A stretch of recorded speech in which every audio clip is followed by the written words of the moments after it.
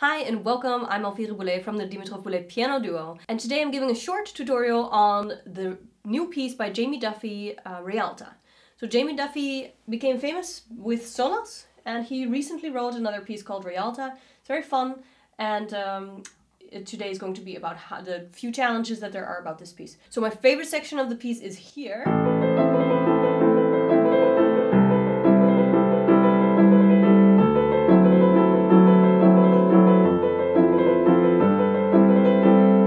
It's super fun to play and it's very nice to listen to.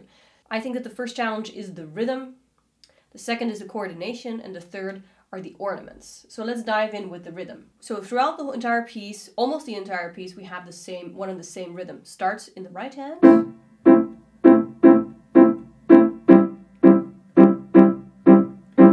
And then it gets taken over by the left hand while the right hand starts a melody.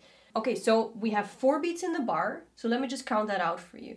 We have one and two and three and four and one and two and three and four and one and two and three and four and. So let me actually notate that for you. All right, I don't have my upper camera today. I apologize. I don't have my Apple Pencil today. I apologize.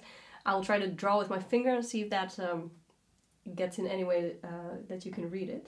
So we have one which comes together with the chord, then we have and, I'm just going to write a dash for and, that comes together with the rest. Then comes the chord in between the and and the second beat, which is together with this rest. Then we have and, which comes together with the chord. Then we have three, which comes together with this chord. We have and, which to come, comes together with the rest here. This chord comes in between the and and the four. Four comes together with the rest here and and comes together with this chord, which means one and two and three and four and one and two and three and four and. So that is the rhythm. I hope that was a bit clear for you, like that. And that continues almost throughout the entire piece until the slow part at the end comes. So that was number one, right? That was rhythm. Number two is coordination. So once the melody comes, your left hand is going to keep on doing this.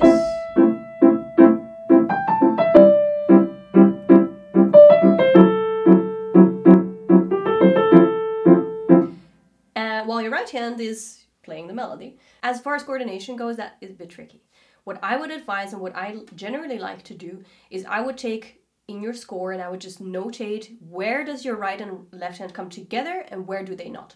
So for me that always helps. Let's look for example in this bar. Here we have this come together. So if I had my pencil, I would be a little bit more precise. These two are together. This one comes in between, this one comes in between, and this one comes in between. So that I think is really good to know. If we take a look at that bar, which just start together. So as you see, all of those are after each other.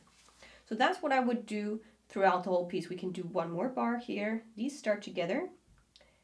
This it starts together, but the left hand is, is tied, so your left hand isn't actually playing something. This is coming in between. These are coming together, and then this one is coming in between. So if we take a look at that bar, starting off together. Once more slow, starting off together. So that's what I would do throughout the entire piece. Just you know, mark where are your notes together and where are they coming in between. It's just so much easier to have that um, right in front of you, to have that a little bit more clear. Okay, so now the third thing are the embellishments. So what's written in this score is actually a grace note. And a grace note technically would sound like this.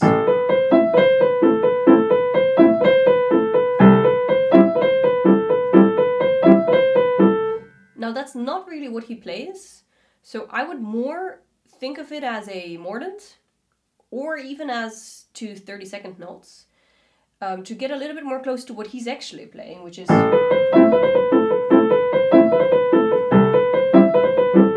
Which is, uh, as I said, it's not really the grace note. So I think that that will help you play this a little bit better. If you want actually um, advice on how to play ornaments, I think we have a video on it. I'll check, and if so, I'll put it up here.